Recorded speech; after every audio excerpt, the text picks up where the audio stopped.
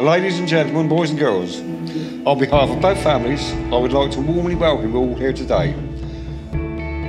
Love isn't always perfect.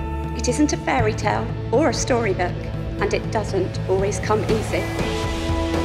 Love is overcoming obstacles, facing challenges, and fighting to be together.